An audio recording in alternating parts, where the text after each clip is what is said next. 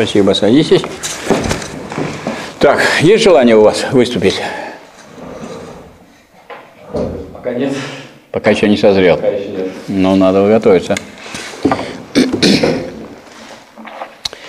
Значит, вот ну, еще одно положение, которое, как бы, с одной стороны, не является абсолютно новым для нас уже. С другой стороны, вот для той специальности, которой вы занимаетесь, то есть вопрос, вопрос понимания вообще культуры и развития. Вот он критикует, Марк Энгельс критикует Фейербаха за то, что он не замечает, что окружающий его чувственный мир вовсе не есть некая непосредственно от века данная, всегда равная себе вещь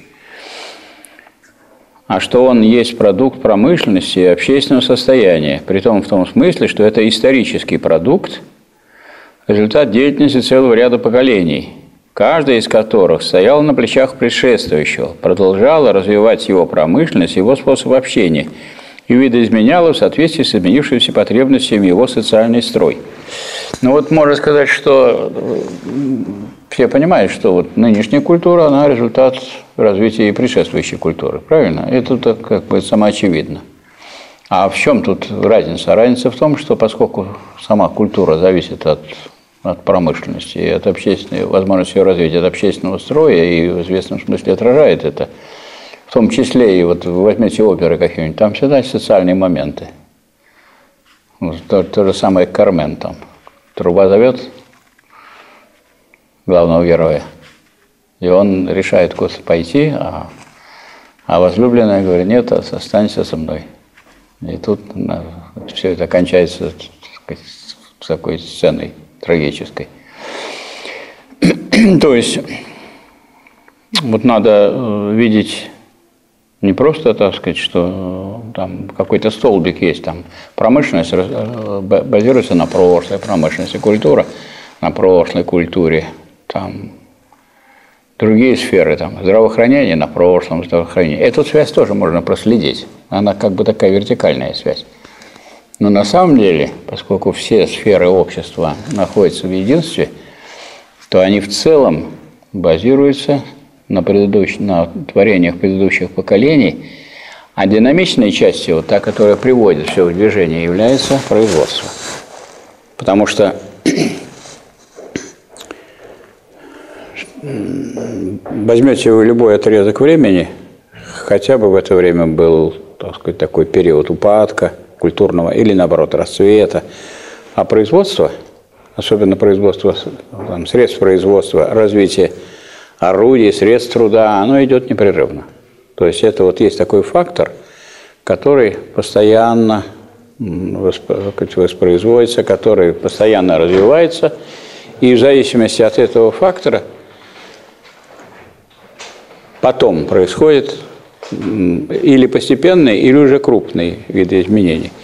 Почему вот здесь говорится об общественном строе? Это один общественный строй предполагает одни средства производства, другой предполагает другие средства производства. Даже здесь пропускаются эти самые революции, которые есть переход от одного строя к другому. То есть о них специально разговора нет или речи нет. Но вот идет это вот движение. И в ходе этого движения – Э, проявляется та зависимость, которую везде они прослеживают и подчеркивают. Вот эта зависимость от материального производства. Ну вот сегодня мы открываем, допустим, российскую газету с портретом нашего министра финансов, товарища Силуанова, который значит, таким анонсом э, открывается, что Силуанов знает, как еще 10% бюджет сократить. Что значит сократить 10% бюджета? На что у нас уходит государственный бюджет? У нас есть производство, которое ведется за частные средства, не за государственные. Правильно? Теперь есть даже государственные предприятия, которые тоже не идут за государственный счет. Они идут за счет э, той прибыли, которую получают эти предприятия. Что такое сокращение государственного бюджета на 10%? Это сокращение расходов на культуру, на образование, на науку, включая и Академию наук, то есть на те, э, на сказать, воспитание. То есть на те как раз отрасли, с которыми связано развитие людей. Физическое или духовное развитие, культурное развитие и так далее. То есть поэтому нам особенно радоваться-то не приходится. А почему сокращается? А по той простой причине, что э, за прошедший 2015 год сокращение производства составило производство составило 3,4%. То есть сократилось производство. Раз производство сократилось, то если вы имеете меньше масла, хлеба, мяса и так далее, то, соответственно, вы не можете передать больше. То есть вы можете бумажки напечатать в большем количестве или ничего не сокращать. Но это приведет просто к тому, что, соответственно, цены вырастут, а от этого больше продуктов не появится. То есть, если меньше производится, значит, меньше и получается. Значит, если меньше строится, если строили театр, перенесли на окончание строительства еще на год следующий и так далее. Если строились школы, то же самое. Если ремонтировались вузы, откладываем, замораживаем и так далее. Причем сама вот эта постановка вопроса не первый раз уже говорят, на 10%. Ну, это значит вот укоротить людям ноги на 10%. Что будет? Не будет э, сказать, человек на 10% медленнее ходить или медленнее бегать. Он просто будет инвалидом. Поэтому, здравствуйте, если бы у нас такая была ситуация, что вольготные были бы условия в смысле обеспечения той же самой медициной, а мы прекрасно понимаем, что очень дорогие лекарства, что люди не получают сказать, э, поддержки при приобретении этих лекарств. И, следовательно, что значит сократить на 10%? Ну, это жизнь сократить. Я приведу некоторую цифру, намеренно, э, вот хочу обратить ваше внимание, намеренно эту цифру беру из российской газеты, которая является официальным источником, в ней публикуются все документы. Значит, как сообщает наша статистика, у нас на сегодняшний день 19 миллионов человек, 19 миллионов человек получают доходы меньше прожиточного минимума. Что это значит? Это вытекает... А? Это значит, что что такое прожиточный минимум? Это то минимальное количество материальных благ, которые необходимы, чтобы человек просто мог существовать. Значит, что означает, что 19 миллионов человек получают доход меньше прожиточного минимума? Ну, это те люди, которые вот как-то в ближайшее время должны постепенно э, уйти с лица земли. Правильно? Я правильно понимаю? В это время, в это время, значит, как некое положительное, вот мы получаем информацию о том, что бюджет будет сокращен на 10%. Причем где такие малые доходы? В том числе в бюджетной сфере. Вот я хочу, сказать, вспоминаю просто, вот я был в Москве на переподготовке, на повышение квалификации, три месяца. В Российском государственном гуманитарном университете, РГГУ. Ну и поскольку я готовился по той специальности, которую я хорошо знал, поскольку у меня диссертация была по применению математики в экономике, поэтому я там то, что они читали, так сказать, прекрасно себе представлял, я ходил так сказать, в больницу Симашко и занимался там лечением зубов. По два часа посижу и иду. И вот каждый день я видел такую картину. Приходит медсестра, которая очень худая, молоденькая, в халатике, и берет капустку и кусочек хлеба. И все. И так каждый день. Вот сколько я там был, ходил. Ну, как вы думаете, какие зарплаты сейчас у медсестер? Да. Какая у нас минимальная зарплата?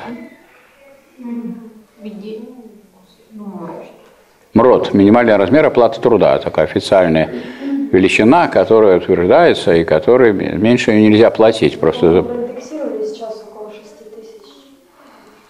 Да, 6200. А минимальный, это, это минимальный размер оплаты труда. А, меньше, чем прожиточный минимум. Да, а прожиточный минимум? 7. Сколько? Нет, нет, 9, 9, 9 600. 9.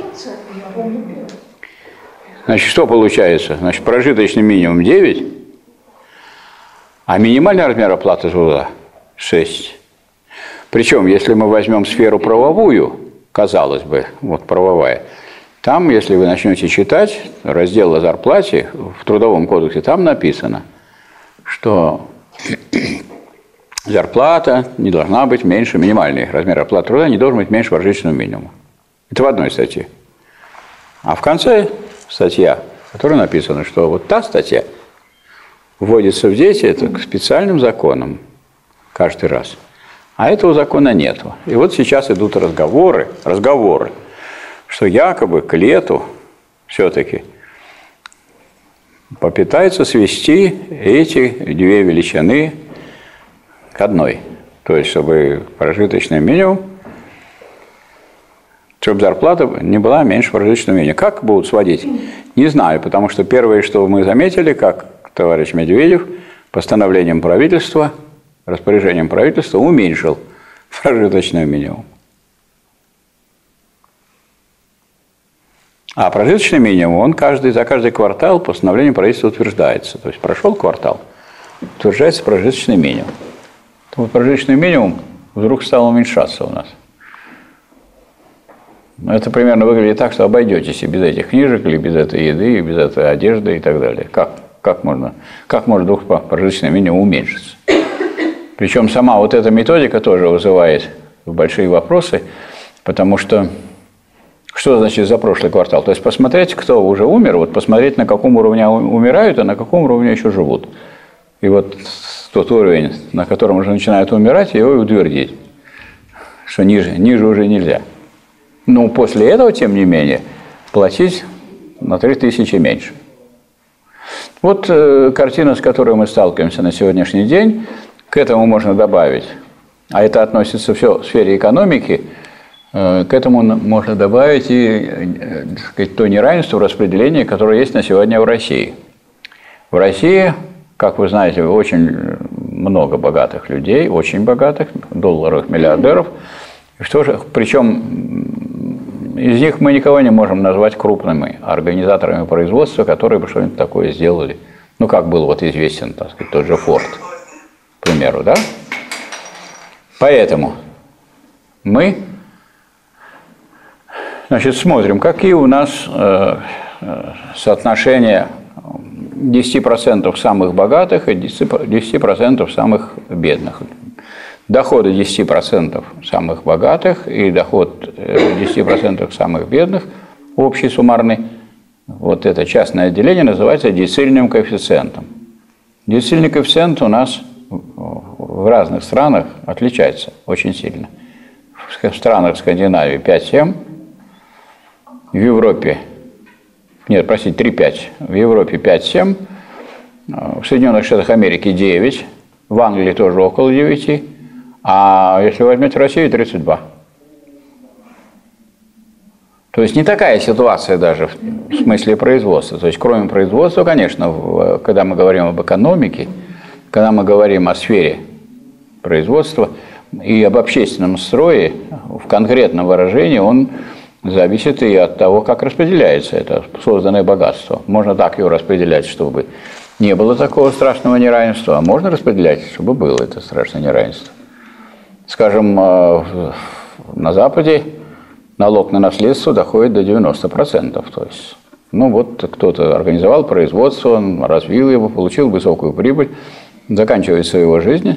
Государство с целью сохранения этого всего потенциала производственного 90% берет налог на наследство. И тем самым либо его родственники уплачивают этот налог и продолжают это производство вести, либо оно переходит к государству. Государство его поддерживает. Иначе у нас в России получается так, что теперь могут его отроки размотать это все. Имущество, которое было. Потому что у нас налога на наследство нет. Теперь э, возьмите любую страну современного мира – и вы там увидите прогрессивный налог на доход. Прогрессивную шкалу налогообложения. Что значит прогрессивная шкала налогообложения? Чем больше доход, тем больший процент надо платить. Причем разброс не маленький. Например, в Соединенных Штатах Америки 33. В Советском Союзе было 38, максимальная ставка налогообложения. Начиная от того, что самые низкие доходы вообще не облагаются залогом, а потом идет 12% и до 38%. Так вот, в Соединенных Штатах Америки 33. В Англии, в Канаде, ну, в других странах где-то 50%. То есть, если вы получили большой, очень большой доход, то примерно половина этого дохода переходит к государству. Половина расходуется на нужды того, кто это такой, такой доход получил. Ну, за счет этого, естественно, финансируется в достаточно широких масштабах, в том числе и культура. Когда вот у нас начинают плакать, что нет денег на культуру, нет денег на науку, нет денег на образование, так если их не, государство не берет, так их и нет. Более того, если их государство не берет, они остаются в России или они убегают из России? Их уводят из России, и когда они уже уведены в офшоры, из офшоров достать это уже маловероятно. Поэтому сама задача такая, вот неправильно поставленная задача, давайте заберем деньги из офшоров. Не надо, чтобы они туда попадали. А чтобы они туда не попадали, что нужно? Надо, чтобы, ну, чтобы государство, как коллективный орган класса капиталистов, у нас разные государства сейчас, должен бы требовать от капиталистов что? Что он может требовать, если это орган класса капиталистов? Чтобы они были капиталистами. А что значит, что вы были капиталистами? Это значит, что они должны накапливать капитал. А что значит накапливать? Значит, вы, во-первых, вы должны произвести амортизацию, заменить устаревшую технику, ежегодно менять ее, чтобы у вас, так сказать, возраст техники был, ну, примерно 10 лет, а не 40 лет. Второе. Скажем, процентов 60 полученной прибыли отправить на накопление – и тогда вот уже, так сказать, вот те доходы, которые не отправлены на накопление, можно подвергать налогообложениям. Так можно было бы сделать. Ну, как у нас э, с амортизацией дело обстоит безобразно, то есть э, то, что предназначено для амортизации, то есть для обновления, для того, чтобы поддерживать технику на современном уровне, эти средства, которые являются издержками, они попадают на самом деле в прибыль, а из прибыли, вместе с прибылью уходит за границу, в офшоры. Теперь э, накопление. Накопление означает, что вот такую-то часть прибыли, скажем, 60%, должны бы отправить снова в производство, купить новые средства производства, нанять новых работников, на это выделяется соответствующая заработная плата, и это называется накопление капитала. Ну и тогда капитали... капитал растет, и капитализм развивается. У нас же проблема не в том, что, что у нас Э, капитализм, а в том, что у нас капитализм даже и не развивается, и поэтому и капитал не растет, а капитал падает. Потому что если у вас было вот, одно э, производство, а теперь у вас сокращается это производство, значит, мы имеем не самовозрастание капитала, а самоубывание, самоугасание и так далее. А иначе не может быть, и тогда этой проблемы тоже не возникает с ловлей тех, тех денег, которые ушли в офшоры. То есть надо бездействовать. Теперь что нужно для подъема экономики? Надо увеличивать зарплату. Что происходит с увеличением зарплаты? С увеличением зарплаты сразу возрастает спрос. Что возрастает, что э, происходит в случае значит, возрастания спроса? Возрастает, естественно, значит, продукты уходят залежалые из полок магазинов. Магазин начинает торговля, вся сеть заказывает новые продукты. Идет увеличение потребности в новых товарах, возрастает предложение. И вся экономика включается в этот процесс.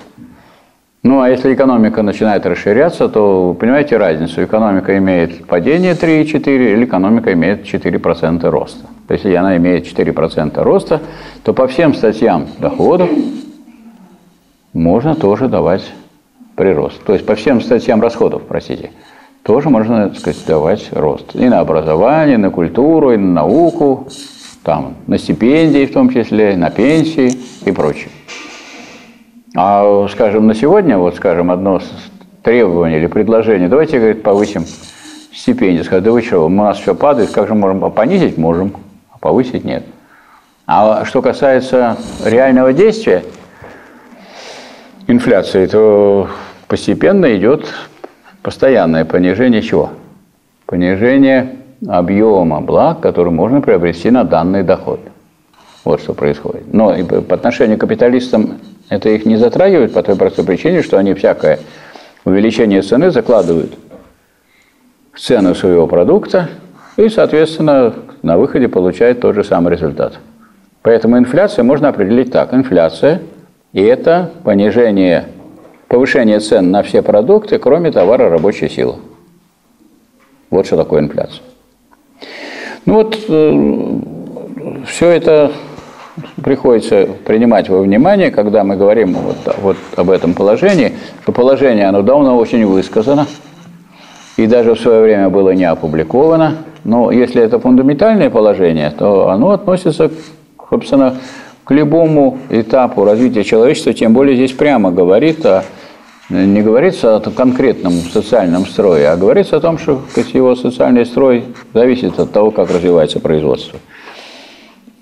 Фейербах не замечает, что окружающий его чувственный мир вовсе не есть некая непосредственная от века данная, всегда равная себе вещь, а что он есть продукт промышленности, общественного состояния, притом в том смысле, что это исторический продукт, результат деятельности целого ряда поколений – каждая из которых стояла на плечах предшествующего, продолжала развивать его промышленность и его способ общения и видоизменяла в соответствии с изменившимися потребностями его социальный строй. Вот такой вывод. И изменение социального строя тоже зависит от того, как развивается промышленность.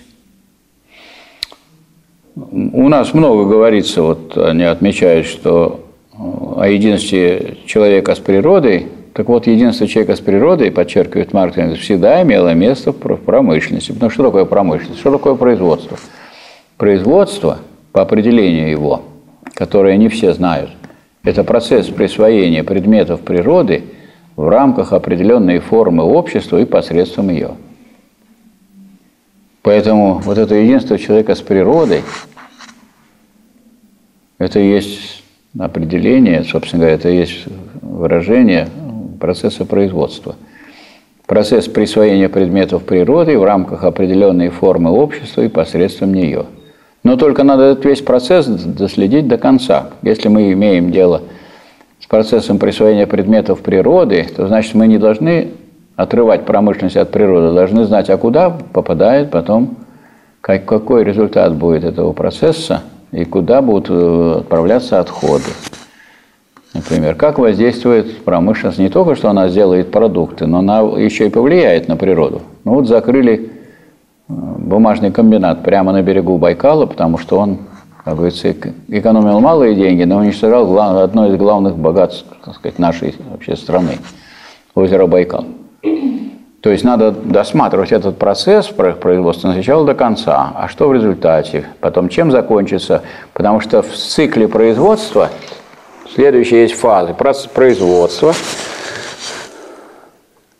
обмен, распределение и потребление. Ну, потребление, когда закончилось, что произойдет? Вот, скажем, те же самые бутылки, если они не биты, то они так сказать, природу не загрязняют, они просто ее захламляют в том смысле не загрязняют, что они никаких химических изменений в природе не производят, они совершенно нейтральны. Если вы возьмете, скажем, нынешние упаковки пластмассовые, они все выделяют соответствующие, так сказать, газы, фенолы и так далее. И особенно если, если их начинают сжигать, то появляются диоксины, которые просто вредные вещества при сжигании. И поглощение их опасно. У нас есть в Ленинградской области, в Ленинграде, два завода, которые готовы к, к тому, чтобы производить из всех пищевых отходов есть машины соответствующие, стоят оборудование, из пищевых отходов производить удобрения для сельского хозяйства. Но только из пищевых отходов. Поскольку у нас раздельный, раздельно не собирается, пищевые отходы отдельно, а все остальной мусор отдельно – то, естественно, значит, в этих печах из одной грязи можно сделать другую грязь. Которое ничем не отличается и ни на что не пригодно. Между тем, вот я думаю, что вы это не застали, а вот, вот я и мой коллега что наблюдали, вот я когда был мальчишкой, у нас происходил сбор пищевых отходов в городе Ленинграде. На каждом, на каждой лестнице, во-первых, у нас в каждом доме было жилье служебное для дворников – не, чтобы они не, не через полтора часа после того, как пошел снег, приходили, когда все затоптано уже, и надо теперь уже сбивать, очищать. Они тут же выходили и расчищали очень легко, и после этого люди могли идти. Так вот эти дворники должны были каждый день, приезжала машина, забирала, ставили пищевые бачки не на каждом этаже, а через этаж. Вот такие широкие бачки с крышками. В эти пищевые, в эти бачки люди скидывали все остатки пищи, очистки, картофельные, там, морковные, вот то, что и сказать, другие съедобные части. Это каждый день бы возилось, каждый день дворники мыли эти все бачки, и Ленинград был завален ветчиной прекрасной, которую прямо вот таких деревянных ящичках выставляли – в магазинах быстро ее разбирали, стоила на 3,70 дешевая. Колбаса обычная стоила 2,20 отдельная, докторская 2,30, а 3,70 стоила ветчина. Ну, то есть даже меньше, чем полтора раза. Потому что она, в общем, считайте, изготовлена из того, что бесплатного сырья. Из бесплатного сырья, потому что на крупных э, свинокомплексах откармливали свиней, с этими пищевыми отходами. Но это требовало вот не только их отдельного сбора, а и быстрого, чтобы это, чтобы это не связано было с закисанием или с порчей, быстрой отправки непосредственно в соответствующее сельхозпредприятие. Этот весь конвейер потом был нарушен, разрушен. И если вы поедете в соседнюю Финляндию, вот можно видеть как чудо – что там вот, пожалуйста, здесь сюда кладут пластмассовые э, банки, сюда кладут металлические предметы, сюда бумага, а сюда стекло. И это рядом, и у нас это тоже бы делать, но у нас просто это не делается на сегодняшний день. И это тоже, так сказать, элемент культуры. То есть, если это ведь отношение к природе, то есть, если мы это не, этот процесс совершения, потребления не э, делаем, так сказать, сознательным и планомерным, то мы его то есть, пускаем э, на волю стихии, то это кончается горами вот, мусора, который у нас вот в районе, в некоторых местах, где его просто валом наваливают, там в районе... Э, а? Да, в районе Парнаса, свалка, вот там, где машины проезжают, там у, у завода недалеко от завода Hyundai и завода... А? Да, да, ну в нескольких местах. Вот. А, а, дальше, а дальше начинается какой процесс? Там же идут химические реакции, разложения, э, воды, которые подземные, которые, так сказать, существуют, и, и они же текут не, не туда, куда мы их направили, а по тем дорогам, которые мы даже не знаем. Они потом, э, все эти вредные вещества прибывают куда, куда только угодно. На сегодняшний год замечено резкое сокращение корешки в Ленинграде, в Финском заливе. В Ладоге пока э, количество корешки не сокращается, а в Финском заливе сокращается. Во-первых, идут всякого рода ну, углубительные и намывные работы. Вот том числе в связи со строительством стадиона, там намывается значительная территория. Намывается, значит, там песок идет. Песок сдирается с рыб, как вот наждак, всю чешую. Рыба гибнет там. Ну, а что касается вот всех отходов, которые идут без очистки по-прежнему, Финский залив, или с малой очисткой, то это приводит к такому систематическому загрязнению, и э, вместо так сказать, такой культурной рыбы появляются там моллюски, и все виды рачков, которые из других морей к нам прибывают. И они начинают уже поедать или уничтожать вот ту рыбу, которая у нас есть. Это о чем говорит? Это говорит о том, что если речь идет о современном, развитом общественном производстве, оно требует сознательного регулирования. Если этого регулирования нет, то вот эти стихийные процессы, они просто приводят к гибели животного мира. А человек уже, как продукт этого животного мира, с ним неразрывно связанный, он тоже начинает больше болеть. И, и как вы знаете, летом теперь объявляют каждую весну, где можно купаться в Ленинграде. Где? Нигде. Причем, значит, пишется, что купаться запрещено. Ну, казалось бы, если запрещено, то кто должны стоять люди, облеченные соответствующими полномочиями, и не допускать. Нет, пожалуйста, купайтесь, никто вам не будет противодействовать. Скажем, в, том же, в тех же самых озерках, где прекрасные три озера Суздальские. Вот. Но вместо того, чтобы не подпускать туда строительство домов непосредственно, а оно же как делается? Строится частный дом, потом сделается стакан для сброса эти отходов так, для канализационных. Они потом фильтруются через песок, в озеро и так далее. То есть нет там такого. В чем такая необходимость? Это вот такая жемчужина у нас, когда можно выйти из метро, озерки, и пойти купаться сразу. И эта жемчужина в этом смысле не сохраняется, но есть спасательная станция, если вы будете там э, плавать, то вас, если что, спасут. И есть там шарики, которые на воде. То есть вот то, что является довольно мелким и неглубоким, это и имеет место. Отсюда э, что вытекает? Что вот то, о чем говорили, что общественный характер производства требует и общественного управления этим процессом. Это сказать, не только тогда было важно и нужно, а сейчас это тем более необходимо, потому что э, весь смысл вот этих запретов в одном. Если с кем-то что-то случится, вы наглотаетесь этой воды и заболеете, скажут, ну вам же написали, что запрещено. Чтобы те люди, которые должны были бы эту воду, так сказать, улучшать. А что значит ее улучшать? Да не отправлять туда сточные воды. Вот у нас э, озеро Разлив существует, тоже жемчужина нашей Ленинградской области, да? Или даже города Санкт-Петербурга, потому что Сестрорецк входит в Санкт-Петербург, курортный район. Две реки, сестра, и вторая река Черная. А река Черная идет из э, пригорода – Санкт-Петербурга, и очищается 40%, простите, 60% воды очищается. 40% воды идет стоков промышленных и хозяйственных, и канализационных идет неочищенными. Вот они проходят через лес, идут, идут, идут, и отправляются в озеро Разлив. Из озера Разлив, оно проточное – оно и было проточное. Его, и, сказать, и образовалось оно, потому что Петр его заградил. И из него, значит, соответствующий э, канал отправляет в залив.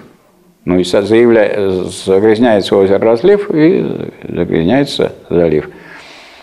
Ну, казалось бы, решение-то очень простое. Ну, постройте очистные сооружения, чтобы было 100%. Вот как мысль простая, как стекло.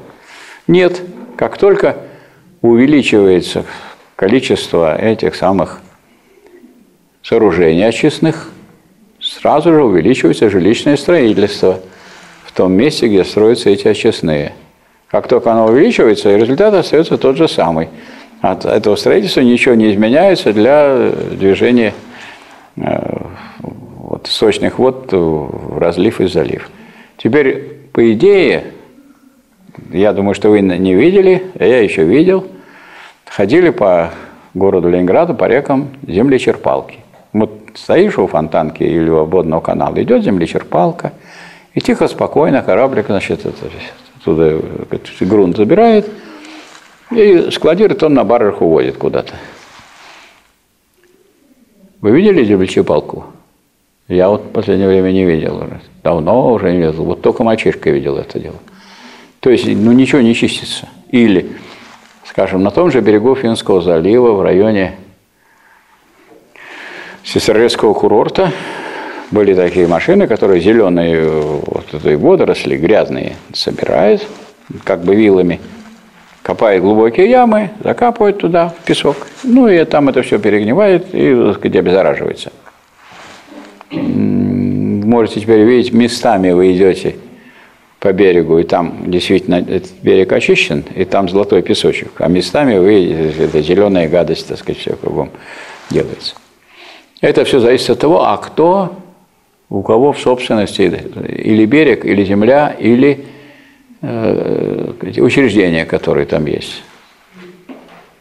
А учреждения некоторые просто разгромлены. Разгромлены так, что там как атомная война как будто там была. Вот, то есть, когда мы обдумываем вот эти вещи, а с ними связаны, можно, конечно, заниматься лечением. А что нужно заниматься? Лечением или здоровье охранять и укреплять? Как вы думаете, какая правильная задача? Желательно бы укрепить здоровье, да, и его охранять. А лечиться в крайнем случае – а нет, вот вы давайте заболейте, ничего, мы, у нас есть такие современные технологии, мы вас спасем. Ну ничего, что вы потом будете или хромать, или кашлять, или, так сказать, у вас будут какие-то недостатки уже физического характера на всю жизнь. Ну зато мы вас вылечим, но за отдельную плату. И не маленькую.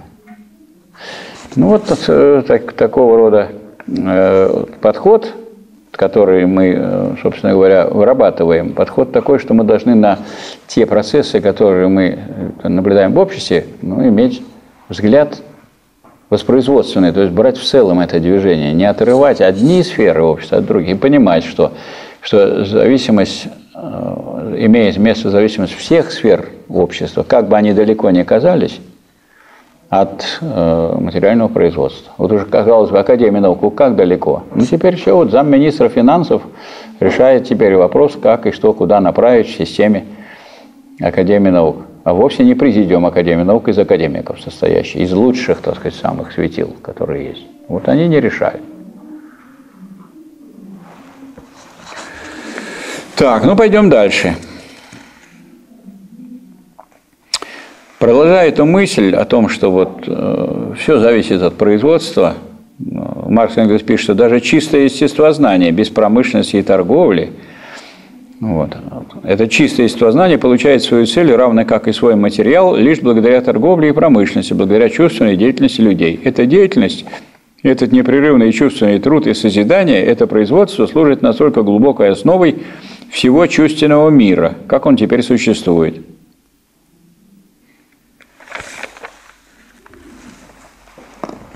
Вот есть такие категории в философии, которые называются три категории с одинаковым корнем. Основа, основание и основанное. В чем разница?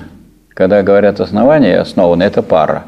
Есть основание, это основание того, что проявляется в основанном. Основанное – это то, что основано на основании.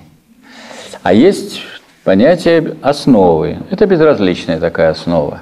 Дескать, она сама по себе, а вы можете на этой основе что-нибудь создать и построить. Вы без основы не, не можете вообще ничего построить. Какая-то подставка вам нужна. Вот вы на этой подставке будете строить. То есть это безжизненная такая связь. Но вот здесь проводится все время мысль, что вот производство это не просто основа, а это фактически основание для других сфер деятельности. И это выражается потом, проявляется во всей деятельности. За что критикует э, Фейербаха Маркс Энгельс? Что вот Фейербах материалист. История, э, получается, раз он материалист и не занимается историей, он оторвал материю от истории, а история от материи. История лежит вне его поля зрения. Поскольку же он рассматривает историю, он вовсе не материалист. Материализм и история у него полностью оторваны друг от друга – История же есть не что иное, как последовательная смена отдельных поколений, каждый из которых использует материалы, капиталы, производительные силы, переданные ему всеми предшествующими поколениями. В силу этого данное поколение, с одной стороны, продолжает унаследованную деятельность при совершенно изменившихся условиях, а с другой видоизменяет старые условия посредством совершенно измененной деятельности – Но в искаженно спекулятивном представлении делу придается такой вид, будто последующая история является целью для предшествующей. То есть вот не, не, не видят, что э, есть некое основание, которое потом проявляется в основанном, А все это представляется так, что вот есть уже заранее цель, и вот осуществление этой цели ведет к этому результату. Можно сказать, что, скажем, в странах, где э, будет или построен был там коммунизм, то же самое в Советском Союзе, там можно было считать, что планом предусмотрено, как видоизменить условия жизни, как видоизменить человека. Так, всех членов общества. Ну как можно предусмотреть в плане, если этого нет для этого предпосылок в жизни? То есть план, если он не оторван от э, действительности, он не может быть составлен случайным образом. Поэтому, скажем, плановая работа, она была очень сложной работой, основанной на очень прочном базисе. Первый план ГЛРО был поручен сделать кому? Академии наук России. И в дальнейшем, скажем, председатель Госплана до поздней советского времени был всегда членом Политбюро, а не каким-то там человеком техническим, которым, дескать, вот вы делаете там планчик, а мы там будем реализовывать. То есть вопрос о плане – это вопрос о будущей всей жизни. На сегодняшний день вся эта зависимость от производства сохраняется, а вот что касается цели и попытках планомерного видоизменения, опираясь на уже созданное, но мы сейчас имеем э, картину полного отсутствия планирования – в деятельности государства, общества, государственных органов. У нас есть закон о государственном стратегическом планировании, а планирования нет. Ну и как вот вы себе представляете, если есть э, машина, в которой включены фары дальние, она может иметь, идти с большой скоростью, а может ли машина, в которой включены подфарники, которая ничего не видит, как э, люди, которые в ней сидят, не наблюдают, что происходит внутри, куда-то в ночь едут, как они могут здесь развиваться. У нас была попытка, положительная попытка, создать концепцию социально-экономического развития страны. В 2008 году Владимир Владимирович Путин, который был тогда председателем Совета Министров, утвердил концепцию социально-экономического развития до 2020 года – я думаю, вы ее не читали. Значит, она была в интернете, ее никто особенно не публиковал, и никто, так сказать, не предлагал ее поисследовать, поизучать, потому что, по идее, если собираются люди реализовывать концепцию, да, надо, чтобы она, если я собираюсь вас призвать к его выполнению, я, по крайней мере, должен вас познакомить, правда? Особенно не знакомили. Но в ней были очень интересные вещи. В ней был заложен ну, значительный рост производительности труда, соответственно, рост расходов на самые разные сферы и повышение зарплаты значительный, почти вдвое за этот период, на который было рассчитано ну, с 8 по 20 год, на 12 лет. Это концепция. Но люди э, такие опытные, немножко знающие в области так сказать, общественных наук и плановой работы, они обратили внимание на что? Она была утверждена распоряжением председателя правительства. Что это за документ? У нас есть вот документы, обязательные к исполнению. Это что такое? И это Конституция, федеральные конституционные законы, федеральные законы ФЗ и так далее. И это указы президента – и постановление правительства, а дальше приказы министров и решения глав администрации. А что касается документа, который утвержден просто по сказать, решением председателя правительства, он нормативным документом не является. Это вот, если вы члены правительства, я вас вот вам документ читайте и как бы из этого исходите. Но ни для кого обязательным это не является. Мы же знаем, как принимается закон. Этот закон должен попасть в виде проекта в Думу, потом он должен пройти в Совет Федерации, потом он должен пойти на подпись президенту. Если президент не согласен, возвращает его назад. Если Федеральное собрание не согласно с президентом, он возражает, оно может двумя третями преодолеть его вето. После этого публикуется, обязан он подписать, После этого публикуется в печати и обязаны его выполнять. И должны быть предусмотрены в соответствующих документах, в соответствующих законах меры ответственности. Где они прописываются? В двух документах. У нас есть Уголовный кодекс есть Кодекс об административных правонарушениях. Ну, можно там написать, что если вы не выполните какую-нибудь государственную задачу, с вас 2000 рублей. А можно прописать 5 миллионов или 50 миллионов с тех, кто не выполняет. Или прописать в Уголовном кодексе до 5 лет с конфискацией имущества. То есть это вот предполагает большую работу с учетом того, что у нас обширная государственная собственность на сегодняшний день. Вот вы как люди ну, грамотные и современные должны знать, что у нас огромная государственная собственность. У нас имеется такие вообще предприятия, как Роснефть, раз, очень богатые, Газпром, два, ОРЖД, три, Ростехнологии, четыре. У нас есть э, космическая корпорация. Примерно полтора миллиона человек занято в космической отрасли. Полтора миллиона только в ней. У нас имеется, это все производство, у нас имеется кораблестроительная, объединенная кораблестроительная корпорация.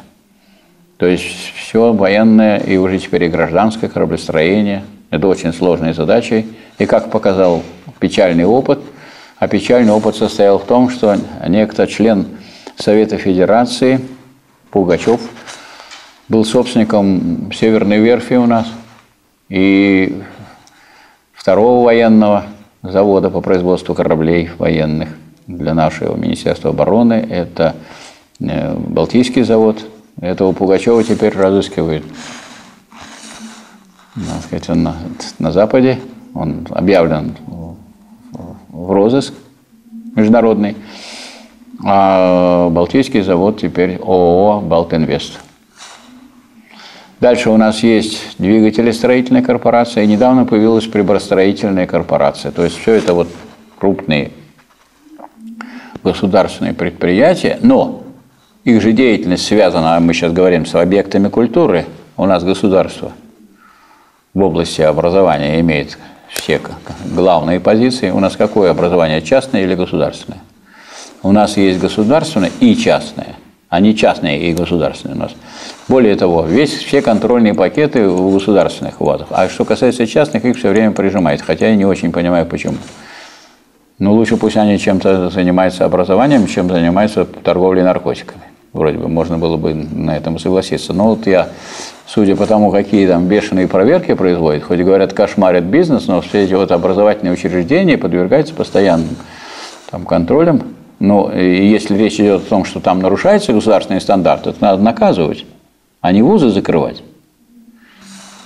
Хотя вот нынешние, сказать, мы наблюдаем, как происходит э, контроль. Больше, сказать, мы наблюдаем много администрирования такого рода. Например, вдруг в газете появляется сообщение, что лесотехнический университет Санкт-Петербургский имени Кирова, ему прекращен прием вообще. Это значит, что министерство чем-то недовольно, что-то там делается не так. Ну, так вы вызовите тех, которые делают не так, снимите их, накажите. А зачем же наказывать, так сказать, целый вуз? У нас другого такого вуза нет в стране. Единственный лесной вуз крупнейший.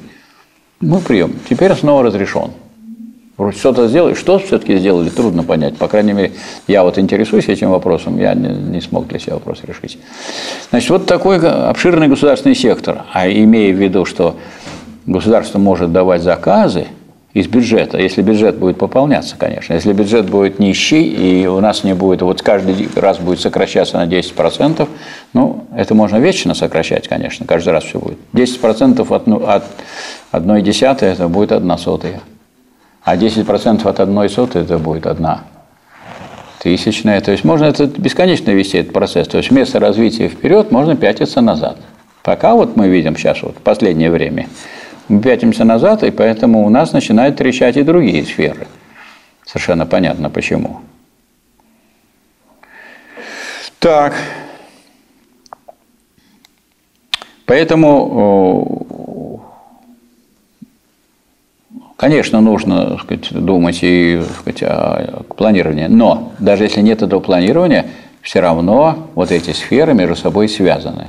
От того, что у вас его нет, связь-то не разрывается. Она просто осуществляется как стихийный процесс. Ну, со всеми издержками, которые связаны со стихийностью.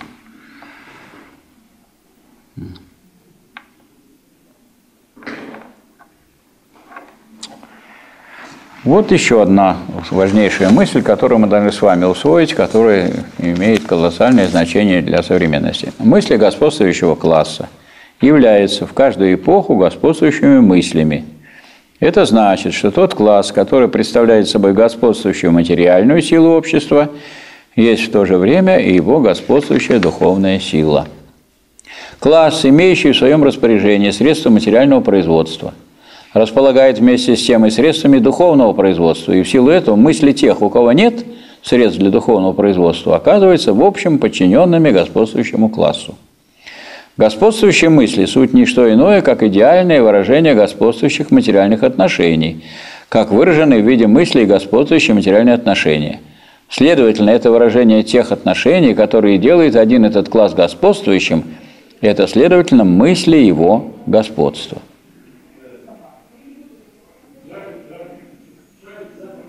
Индивиды, составляющие господствующий класс, обладают, между прочим, также и сознанием, и стало быть, мыслят. Поскольку они господствуют именно как класс и определяют данную историческую эпоху во всем ее объеме, они, само собой разумеется, делают это во всех ее областях. Значит, господствуют также и как мыслящие, как производители мыслей. Они регулируют производство и распределение мыслей своего времени. А это значит, что их мысли – суть господствующие мысли эпохи.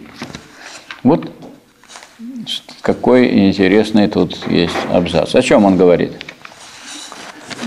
Он не говорит о том, что другой класс не имеет других мыслей. Он говорит о том, что даже более того, если это противоположные классы, есть противоречия. Если есть противоречия в материальной основе, в материальном базисе, вот в соответствии с тем, что мы только что изучали, значит, это противоречие проявит себя и на поверхности, правда, в сознании. В сознании, в мыслях проявит себя. Но как оно себя проявит? Скажем, не, не так, что вот если больше, большинство, скажем, рабочих или трудящихся, то вот значит и мысли будут трудящихся в большинстве присутствовать в общественном сознании. А если меньшинство достаточно богатых людей, у которых э, средства производства, их крайнее меньшинство, то, дескать, их мысли будут и в меньшинстве. Ничего подобного, наоборот. Вот то, о чем здесь э, пишут Маркс и Энгельс, и что не усвоено, я думаю, большинством. Не усвоено то, что если глаз господствующий, то в обществе господствует не мысли тех, кого много, а мысли тех, кого немного. То есть мысли господствующего класса. Почему? Потому что все средства формирования сознания на сегодняшний день это что такое? Это печать, это телевидение, это радио, это газеты, которые выходят тиражами миллионными. Все эти мысли – это а, система воспитания и образования, которая формируется этим классом – но если он господствующий класс, он, значит, он управляет государством, а государство – это сила принуждения. Значит, в этой самой системе и формируется вот, такой, вот такая картина. Это странно или не странно? Это не странно, это общий закон. И в эпоху рабовладения мысли какого класса были господствующими? Мысли рабов или мысли рабовладельцев? Очевидно, что рабовладельцев. Если мы возьмем эпоху феодализма, можете вы сказать, что мысли крестьян, хотя даже трудно даже сформулировать, в чем были мысли крестьян, что мысли крестьян господствовали в эту эпоху. Вот если, скажем, у феодалов была довольно цельная теория, что вот есть такие люди, которые, так сказать, помещики, которые отцы родные для крестьян, и они, сказать, должны управлять, и этот класс во всех странах класс феодальный, то есть благородные должны управлять государством, а неблагородные вообще не подпускаются к управлению государством, правильно? Вообще не подпускаются к управлению государством. И вот в связи с этим, в связи с этим и э, появилась теория классов. Мы с вами эту тему затрагивали. Кто разработал теорию классов? Французские историки. Три французские. Да. Вот я вам захватил сегодня И у меня вот есть письмо Маркса Иосифа Вейдемейеру в Нью-Йорк. Лондон 5 марта 1852 года. Вот здесь Маркс пишет. Что касается меня, то мне не принадлежит ни та заслуга, что я открыл существование классов в современном обществе, ни та, что я открыл их борьбу между собою.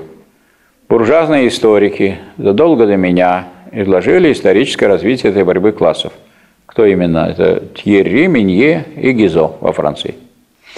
А буржуазные экономисты, мы тоже знаем кто, Адам Смит, Рикардо, Мальтус, экономическую анатомию классов.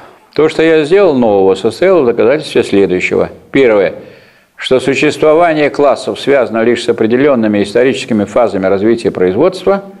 Второе, что классовая борьба необходимо ведет к диктатуре пролетариата – Третье, что эта диктатура сама составляет лишь переход к уничтожению всяких классов и к обществу без классов. Это 28 том собрания сочинений Маркса и Энгельса, второе издание, 424-27 страница. То есть, э, вот э, именно в период феодализма была такая борьба в, в идеологии борьба между теми, кто уже выражал мысли буржуазии, это вот Тьерри Минье и Гизо, и теми, кто защищал позиции феодального класса, что, дескать, только этот класс и должен управлять. Можно сказать, благодаря этим буржуазным историкам провозглашено и воспринято обществом, что управлять государством могут не обязательно представители только каких-то особых классов, то все могут управлять государством. И это в какой-то мере реализовано в идее демократии. Хотя буржуазная демократия, как всякое государство, представляет собой форму диктатуры какого класса? Господствующего. Господствующего класса. Ну и вот в связи с этим я хочу обратить ваше внимание на то, что сама политика должна пониматься вот с точки зрения э, взаимодействия и борьбы классов. Политика – это классовая борьба за завоевание, удержание и осуществление государственной власти. И поэтому вот сейчас, например, наступает такой момент в нашем развитии, вот в нашей стране, когда надвигаются уже выборы.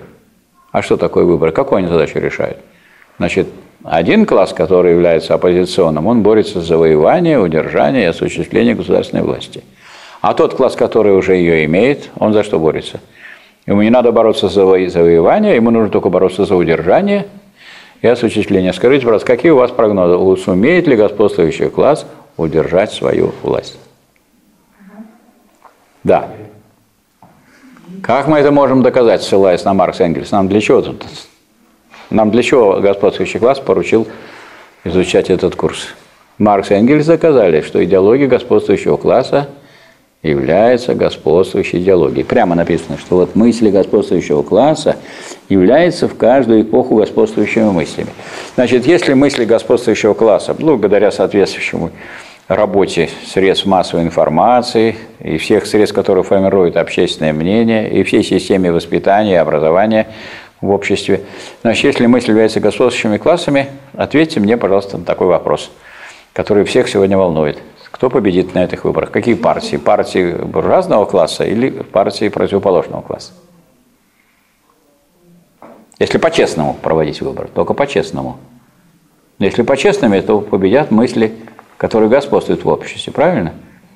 То есть, если вы, конечно, извратите, в обществе господствуют вот такие мысли, а вы на выборах как-то так сделаете, что вы посчитаете не так и наоборот, тогда это будет не по-честному. А если по-честному выбор проводится, то, я думаю, не стоит беспокоиться в отношении результатов. Другое дело, что их нужно провести, эти выборы. То есть работа, политическая работа господствующего класса состоит в частности в том, чтобы обеспечить продолжение своего господства. Ну вот некоторые товарищи, которые выражают мысли тоже господствующего класса, я имею в виду, скажем, вот такая есть радиостанция эпохом «Эхо Москвы», они очень возмущены тем, что вот опять вот те же самые будут править. Они кого нам продвигают? А они кого нам продвигают? Они нам продвигают даже тех, которые уже были. Например, Касьянов. Он же был премьер-министром. И что его, как его звали? 2% Миша? Это кто? Мы же знаем, кто такой Касьянов. Почему 2%? Почему 2%? Потому что взятки брал. Коррупционер. Его оттуда убрали. И этот самый Касьянов, он у нас как бы лидер. Что мы от него ждем? Что он, чем он занимался? Разрушением промышленности, уничтожением нашего производства. Вот э, после как его прогнали, начали восстанавливать производство и еще не восстановили. У нас производство как упало, до какой величины? Вдвое. И вот то, что там Владимир Владимирович Путин объявлял, дескать, давайте мы сделаем удвоение ВВП. Это удвоение ВВП что означает? Вернуться на тот уровень, который был в России до 1991 года. Вернулись? Не по всем показателям. Причем по самым таким ощутимым показателям, по производству станков, машин, оборудования – по машиностроению, которое ключевым является, не вернулись. А сегодня, а сегодня, когда введены санкции, это стало теперь очень ощутимо. Потому что, значит, вот при Касьянове началось, и, и до сих пор еще продолжается. Мы продадим нефть и купим станки. А теперь станки не продают. Станки продают только Белоруссия, Китай и Тайвань. Нам. И все в сегодняшней газете российской сообщение о том, что вот у нас для Индии три фрегата приготовлены, которые мы хотим им продать. Но нет двигателей, которые делались на Украине. А, раз, а для того, чтобы нам сделать свои двигатели, Россия, Украина может сделать двигатели для наших кораблей – а наша промышленность сейчас не может сделать двигатели такие. И потребуется два года. Два года потребуется для того, чтобы сделать э, двигатели для фрегатов. А при э, прежнем министре обороны, да и вообще пытались закрыть завод «Звезда», который делал двигатели для кораблей. И вообще мы остались бы совсем без двигателей. Сейчас у нас есть двигатели, но не на, не на весь ряд. Поэтому сейчас предлагается э, этим самым индейцам договориться с, с украинцами, чтобы они купили у них двигатели, а потом они нам дадут свои двигатели, и мы их поставим на наши корабли и продадим Индии. Вот такая делается операция. Круто. Сразу не додумаешься до этого. То есть довольно забавно это наблюдать. И вот те люди, которые к этому привели, или, вы, наверное, хорошо помните,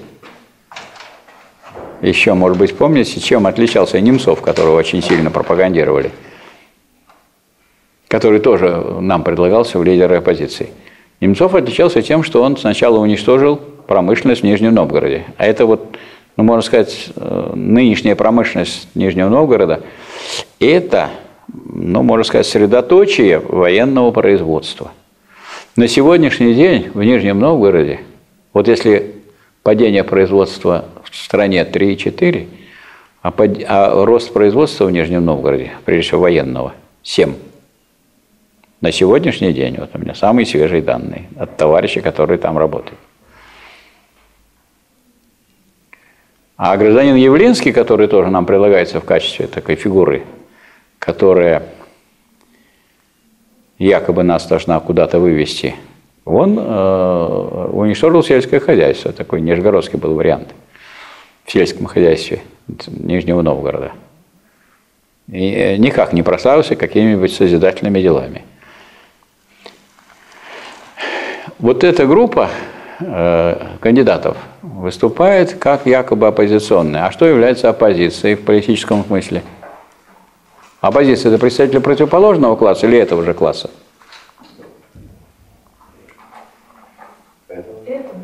Ну какая же это оппозиция? Это-то люди из этого же класса. Правильно? Касьянов, Явлинский. Это люди, представляющие класс буржуазии. Какой? И вот мы здесь наблюдаем вот то явление, которое мы должны видеть, особенно в эпоху империализма. Есть представители буржуазии, которые лоббируют интересы своей буржуазии, а есть представители, которые лоббируют интересы иностранной буржуазии. Вот в лице вот названных мной граждан мы наблюдаем тех, кто лоббировали всегда интересы иностранной буржуазии, в том числе э, партия «Яблоко», она, кстати, и случайно, не случайно так называется, потому что что является э, символом Нью-Йорка? Ну, называет, ну, Нью-Йорк называют большим яблоком. Ну вот, яблоко. Но тем более, что получена она из фамилий, состав, из составных, из, из цифр, из букв, которые составляют фамилии ее лидеров. Но не по алфавиту. По алфавиту будет не так. Явлинский, Болдырев, Лукин, да, яблоко. А по алфавиту будет не так.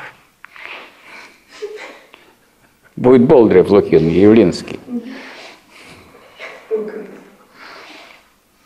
Поэтому на сегодняшний день вот наш господствующий класс, буржуазный, занят тем, что он в стане своего господствующего класса разбирается внутри. И это не борьба с э, представителями другого класса. Правильно? Поэтому э, единственная интрига, которую мы наблюдаем вот в этом, она состоит в том, что делаются отчаянные попытки со стороны представителей, которые лоббируют интересы здесь буржуазии иностранной потеснить буржуазию отечественную. Отечественная буржуазия, она не желает поддаваться на эти попытки и, и не только сопротивляется, а успешно так сказать, вытесняет эту самую лоббистов иностранной буржуазии. Вот, собственно, что мы наблюдаем на сегодняшний день. Да, пожалуйста. А? На сегодняшний день у нас политика кто-нибудь что-нибудь хорошее делает? Конечно. Конечно, делает. У вас приняли же закон против пропаганды гомосексуализма. Это же так важно. А еще виолончели покупают, представляешь? Да. Это важно, А конечно. верующих нельзя оскорблять. Вот это очень правильный закон. То есть закон-то ведь не, про, не против гомосексуализма, а против пропаганды. Обратите внимание. Дело, что это обратите внимание, что вот, вот у нас эти люди, которые выходят с парадами, они же, а, они как, они же именно парады хотят делать. Вот скажем, вам нужны парады одноногих, одноглазых, так, безруких. Был Вообще-то есть такое, по- по-моему, парады инвалидов. Вот. Они показывают, что они, Вот. что они У нас есть- жить тоже. У нас, у нас никто их права не отнимает, более того, у нас он сказать, специально занимается инвалидами, и у нас есть паралимпийские игры, а вот парады как раз вот инвалидов как таковых не нужны. Тем более парады гомосексуалистов. Как вы узнаете, что он гомосексуалист, если он не пойдет парадом? То есть, если он никого из нас не трогает, не мешает нам своими криками, своими плакатами, своими значит, движениями, ему же нужно не ему нужно выставить это как некое, некий так сказать, позитив, выставить это. Вот вы себя выставляете как человек, нет? Я вот не видел, что вы вдруг ни с того ни с сего ходили и себя пропаг- пропагандировали. У нас считается вообще некультурным, если человек ни с того ни с сего начнет себя, вот я хороший сейчас, я возьму и буду ходить. Я требую значит, защиты моих прав. Хотя мои права могут быть ущемлены, и ваши тоже. Но никто нормальные люди с этим не ходят. Ненормальность в этом состоит именно, вот как раз правильно вы сформулировали, пропаганда. Это положительное то, что вот это вот запрещается пропаганда гомосексуализма. А что касается э, гомосексуализма, государству это, грубо говоря, буржуазному, наплевать. Это его не касается, и нас это не касается. И вот народ хочет, граждане, чтобы нас это не касалось. Вот я не хочу знать, кто у нас гомосексуалист, мне это не интересно. Поэтому мне очень, если вот я увижу около моего дома идут гомосексуалисты с, с плакатами, что они гомосексуалисты, возьму палку и буду бить их по головам. И это будет культурно. Почему? Потому что они нарушают мою нормальную жизнь. У меня дети есть и внуки. Мне совершенно не нужно, чтобы парады были вот этих деятелей. А то, если они гомосексуалисты, на здоровье. И пусть расцветают ваши радужные знамена, но вы соберитесь вот здесь и ходите там, где хотите, не на показ. Поэтому я думаю, что политически правильно здесь вот, вот это слово – пропаганда. А что касается сказать, таких вещей, которые являются скрытными от людей вообще, сказать, я думаю, что подробности интимной жизни вообще не надо выставлять. Никакие. И Это, так сказать, у нас есть, между прочим, мы с вами занимаемся изучением культуры, мы знаем, что культура там и красоту человеческого тела показывает, человек, культуру человеческих отношений, А выставлять всякую грязь – это, наоборот, укультуривать – это опыт человечества, материальный, накопленный, материальный, духовный. Опыт состоит в том, что грязь пропагандировать не надо, а грязи у нас много. И будет еще много, и было еще много. Она есть. А, я, а вот отрицание грязи можно и пропагандировать. А, то есть все, что нужно сказать о темных сторонах нашей жизни, так надо о них и сказать, как о темных. То есть если мы какую-то борьбу с каким-то явлением отрицательным хотим осветить в культуре, это нужно ее осветить. Но именно как борьбу с этим явлением. А если вы это делаете само это явление предметом, то вы превращаете его в бытие. А раз вы его превращаете в бытие, то все остальное по отношению к нему выступает как отрицание. И мир превращается культурный. Поэтому вот такого переворота в духовной сфере не надо допускать. И вы спрашиваете, у вас очень серьезный вопрос, что является. Я считаю, что на сегодняшний день поддержка борьбы с американским фашизмом на экспорт и осуществляет только одно государство российское. Больше никто этой поддержки не осуществляет. Сегодня Барак Обама признал, что они натворили в Ливии, это ошибка. А не ошибкой было то, что было в Ираке.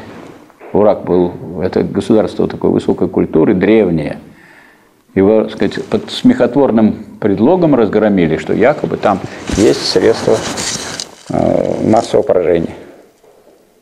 А, а Югославию, то, что разбомбили и уничтожили, раз, разделили на много-много мелких частей. Она просто как разбомбленное зеркало, разбитое. Большое европейское государство – имеющий заслуги в борьбе с фашизмом, самостоятельно боровшийся против немецкого фашизма. Оно ликвидировано. Там есть Македония, есть Сербия, есть Хорватия, есть Черногория, есть Косово, есть, есть, есть, есть Словения. То есть кучка мелких государств, которые вообще не имеют теперь никакой самостоятельности. Как вы понимаете, в современном империалистическом мире эти мелкие государства вообще никакой роли играть не могут. Они попадают в какую-то орбиту, в орбиту влияния. Для этого это было сделано. Поэтому я думаю, что вот если всерьез отвечать на ваш вопрос, я думаю, что ни, ни одно государство, хоть возьмите вы Китай, который вот вроде прогрессивный, он что, ну он может только, если воздержится Россию в Совете Безопасности или э, сделает, поставит вето, Китай может поддержать. Вы видите самостоятельную политическую позицию Китая? Я ее не наблюдаю который, между прочим, имеет 14% от э, производства вооружения, а Россия только 4,8% на третьем месте. А? Китай же наращивает ВМФ сейчас. Так он наращивает, но на политической арене он, хорошо, если он поддерживает позицию России. А самостоятельно? Ну, а он ни в чем не видно этого противовеса. Пока еще нет ничего. Нет, он противовес один. Вот он Россию, то есть Россия сейчас, на сегодняшний день, более слабая, чем Китай. Ну, если не брать, конечно, ядерное оружие и ракетное. Тут мы, конечно, им еще до нас далеко идти. Но экономически сейчас вот более сильный он. Он ну, пока еще вот, э, самостоятельной политической позиции не занимает. И рассчитывать люди могут, та же Сирия не может рассчитывать на поддержку Китая. А то, что бы сейчас произошло в Сирии, в Сирии, ну то же самое, что в Ливии, не было бы государства, и там бы страшное было. Оттуда не столько беженцев побежало, сколько сейчас бежит, а в несколько раз больше. Они оттуда и бегут, из тех краев. А кто организовал-то этих беженцев? Ну, те, кто накинулись на Ливию и вы что, побежите с насиженных мест, вы живете спокойно. Вот я сейчас у вас будут поливать вас свинцом, ваш дом, все, каждый день будут приходить новые банды и уничтожать. Нет, государства сейчас в Ливии нету никакого. Не то, что нету буржуазно-демократического государства, вообще никакого нету. Нет, нет, два правительства там, два государства, они еще между собой воюют. И нет там, и даже ясности в том, за что воюют, потому что ну, нет каких-то таких твердых ясных позиций. Другое дело, что джин, а именно вот этот э, ислам э, реакционный, ислам, э, который э, является радикальным, он выпущен из бутылки, потому что в Ираке был, было светское государство, а в э, Ливии светское государство, в Сирии сейчас светское государство, и что говорит по этому поводу Россия? Он должен уйти, говорит она в отношении президента. Зачем он должен уйти? Чтобы там там же власть какая? Буржуазная? Буржуазная. Чем недовольная? В России буржуазная, в Америке буржуазная. В Сирии буржуазная. Ну вот, буржуазия не может договориться. Буржуазия говорит, он пусть Кай уйдет. президент. А вы так не говорите, пусть идет Обама. На вам в голову приходит такое вдруг так заявлять? Так можно вести себя на мировой арене? Единственный, кто ведет себя на мировой арене в этом смысле культурно и в смысле поддержки как раз тех сил, которые противодействуют американскому фашизму на экспорт, это Россия. Через полтора года должны были быть выборы на Украине. Там влияние американское было колоссальное. Вложено туда 5 миллиардов долларов. Ну, дождитесь до выборов, как мы с вами изучили уже, что идеология господствующего класса является господствующей идеологией. И переизбрали бы этого Януковича, поставили, кого считаете нужным. А зачем устраивать кровавую резню там? Там же ведь э, преступления против демократии совершаются. Ну вот убили писателя Бузину, увидели недавно адвоката очередного. Во время выборов, так называемых, преследовали кандидатов. То есть это, что это такое? Это вот и есть американский фашизм на экспорт. У себя мы все хорошо, у нас чинно-мирно, избираем, голосуем. Как только мы вышли за пределы своих границ, мы начинаем там действовать, как слон в посудной лавке. И противодействует этому Россия. Так что вот отвечая на ваш вопрос, я хочу сказать, что мы можем в этом отношении ну, что-то и доброе сказать. Я только что говорил о том, что безобразной экономической политики которые я никак не могу поддержать. Но мы должны с вами считаться, так сказать, ну давайте положительное назовем положительным, а отрицательное назовем отрицательным. Потому что мы должны действовать объективно, правильно? Потому что, ну, как у людей есть плюсы и минусы, так и у государств есть плюсы и минусы, любых руководителей плюсы и минусы. Если у нас зайдет, скажем, вопрос об этом, скажем, мы можем обсудить вопросы, и у Сталина были отрицательные черты, очень значительные и ошибки, между прочим. Но были и положительные, и очень значительные, и, сказать, поэтому людей-то судят по делам, по итогу. Особенно на фоне того, что у нас происходит с экономикой и с политикой. Конечно, мы должны об этом обо всем задумываться. Но мы не просто должны задумываться и высказывать мнение, а мы с вами, в чем смысл наших занятий? В том, что мы все время ищем, на какой основе мы будем это все оценивать. Вот откуда? И отрывать от производства нельзя. Сейчас вот вышла интересная книга Вер, э, Верхотурова «Экономика победы», в которой, в которой э, говорится о том, что ну, где-то за пять лет до 1941 года мы очень сильно отставали от э, Германии по всем показателям военным. И все понимали, что война будет – и если мы так сказать, не нарастим за это время то, что мы должны сделать в области экономической, то мы будем разбиты. Надо к этому прибавить, что в распоряжении э, гитлеровской Германии стала вся экономика Европы. Никакой серьезной войны ни Франция, ни другие европейские государства – ни Голландия, соответственно, ни Дания, а вот все те, которые, не Бельгия, о которых сейчас говорят, что они вот нам против нас санкции делают, что они с, нас, с нами будут бороться. А чего вы с Гитлером не боролись? Вы бы боролись бы с ним, а мы бы меньше тогда боролись. И получается, что вот раз Россия должна приходить, спасите нас от Наполеона, теперь два России должна приходить, спасите нас от Гитлера. А чего вы сами не хотите спастись? И нам бы помогли.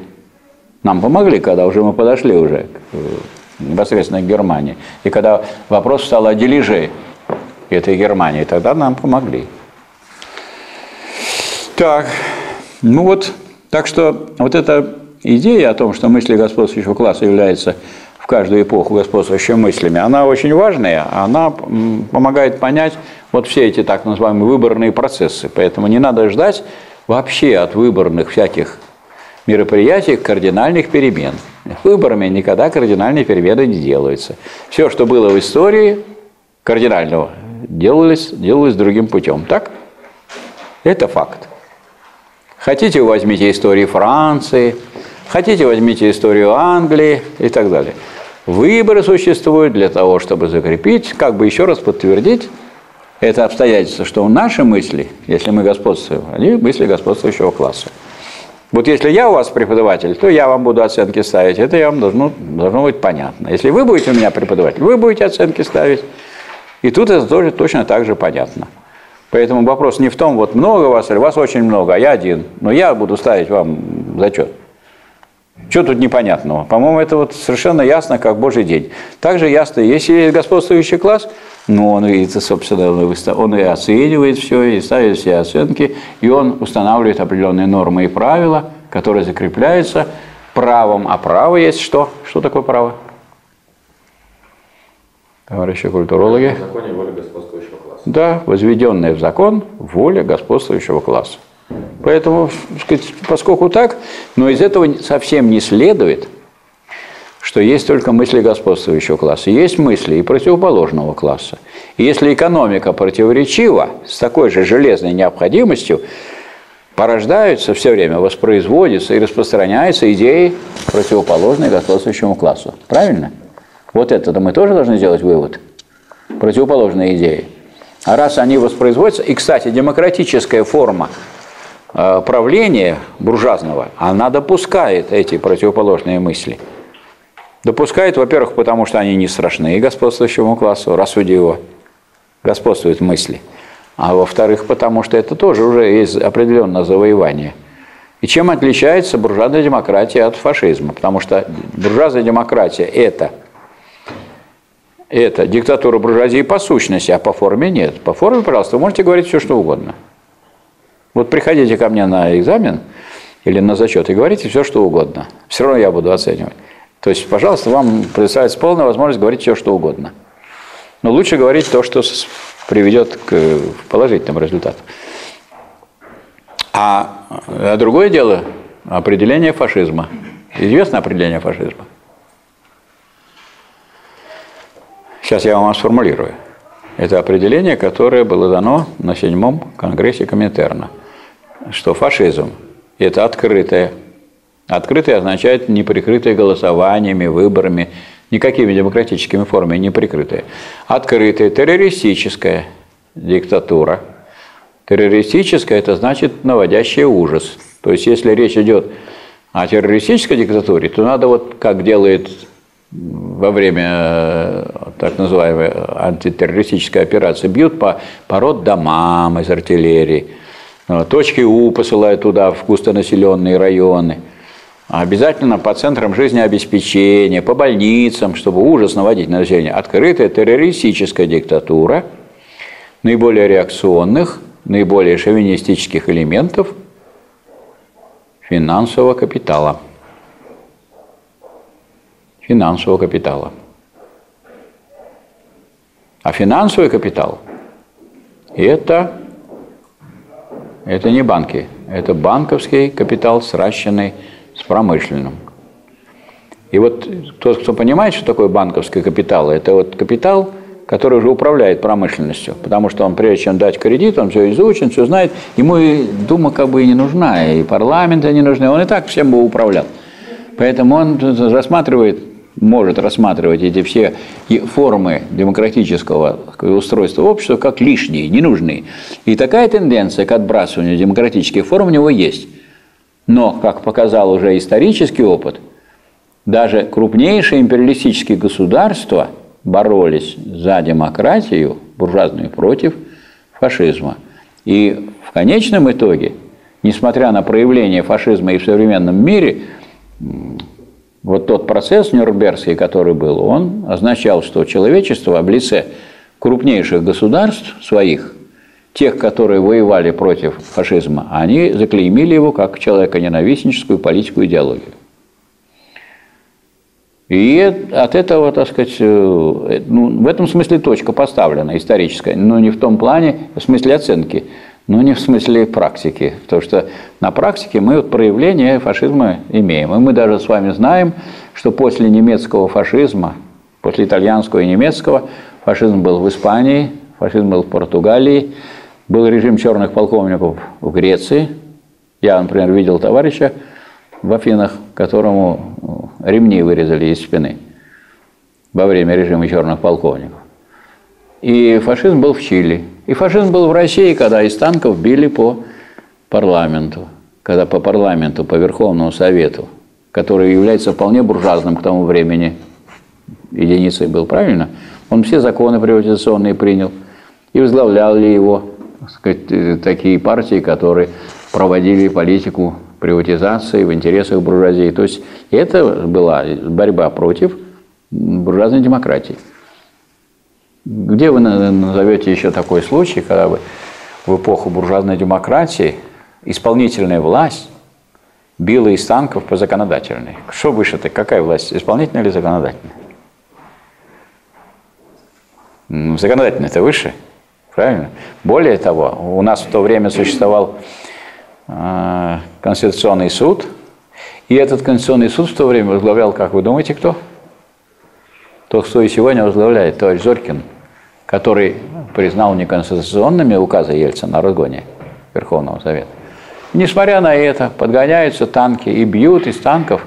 Ну, уж я уж не говорю о том, что прекрасное здание – в центре Москвы, из него бьют вот это языки пламени и, и, и черная эта грязь, которая потребовала потом больших затрат и так далее.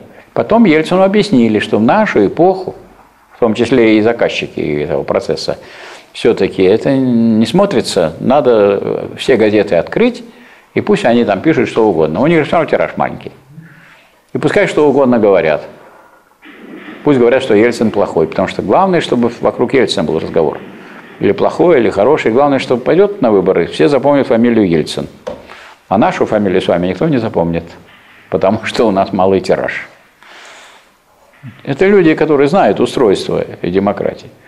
Поэтому э, нынешняя эпоха, она не исключает проявлений фашизма, они имеют место, но фашизм как таковой человечеством в лице, в том числе и буржуазных, крупных буржуазных империалистических стран заклеймен.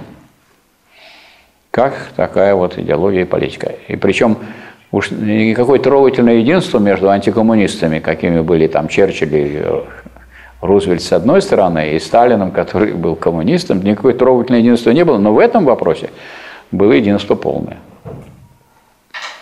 и покарали этих самых фашистских преступников, поэтому э, мы с вами не будем путать элементы фашистской идеологии, и чтобы была идеология, надо кому-то побрить голову и какие-то книжки прочитать, и будет он с этим ходить. Идеология, она может веками распространяться, как сейчас, например, колдуны есть. Есть? Есть. Звоните, колдун Валера. Дозванивайтесь. Если не поможет никто, потому что если никто не поможет, я тоже не помогу, но уже вы не будете обид, в обиде. Ну что, и я тоже не, не удалось.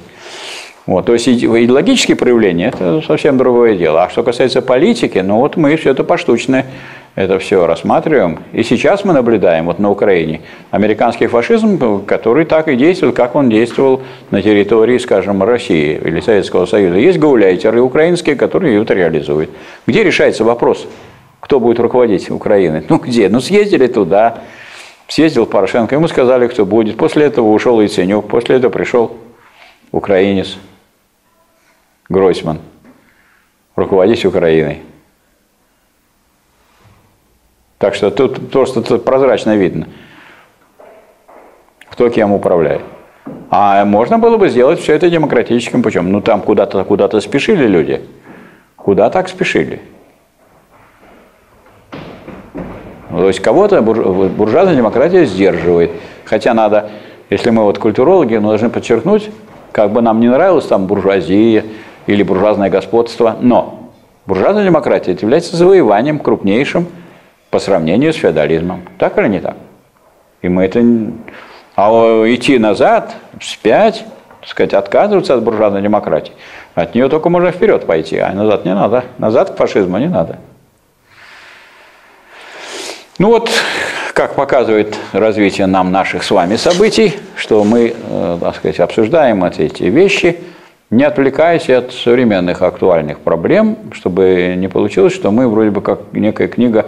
Наверное, это вот особенность таких глубоких книг, потому что там есть мысли, которые заставляют нам обдумать и современные проблемы и сделать какие-то выводы. Хотя, э, сказать, тут можно по этим вещам спорить, я повторяю свою просьбу – я очень надеюсь и, и прошу вас готовить свои сообщения, выступления. Вот выбирайте себе дальше. Уже мы довольно много занимаемся. Любой раздел этой книги, любой раздел.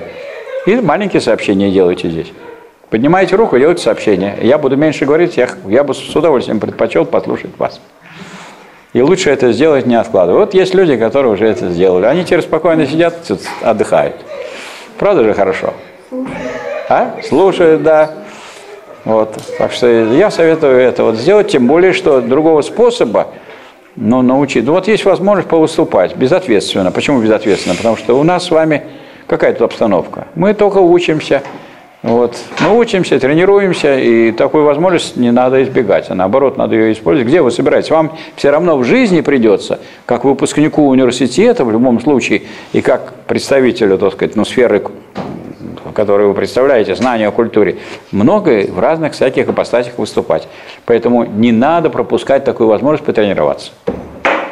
Всячески призывать. Заставить я вас не могу, конечно, вот. И, то есть я могу вас поднимать по фамилийно, но мне кажется, это не совсем, это, это больше на школу похоже.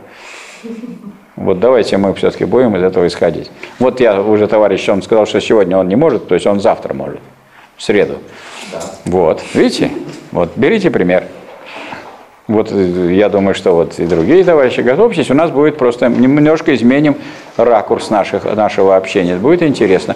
Тем более, что, может быть, вам не все интересно из того, на что я обращаю внимание, а есть вот то, на что вы обратили внимание, и вы хотите узнать, а что я по этому поводу скажу. Тоже интересно. Или другие товарищи. Спасибо за внимание.